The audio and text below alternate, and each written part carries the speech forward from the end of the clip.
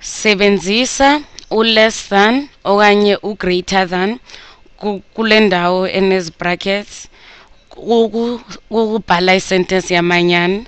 Ke ngoku into abafuna siyenze apha kukutsho uba u-45.675 um, umkhulu na okanye umncinci kuno-45.645 uyabona?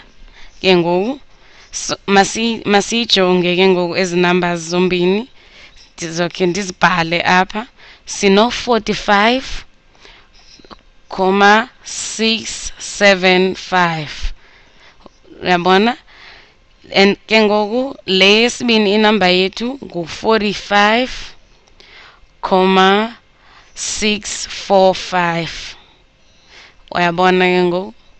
Ke ngoku sifuna ukujonga ke ngoku ezi namba zethu ngoba siyazikhomperisha indawo ezi- ezingafani kuyo apha ezi namba zethu zombini ilapha kule ndawo ye-hundreds ngoba sino-700s apha sibe no-400s apha ezantsi. Yonke enye into iyafana.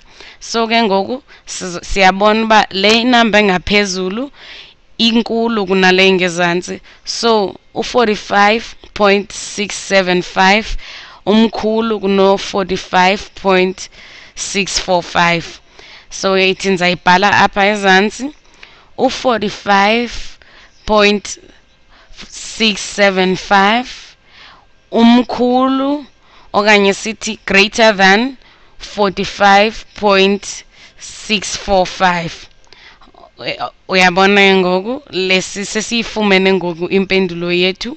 Nantsi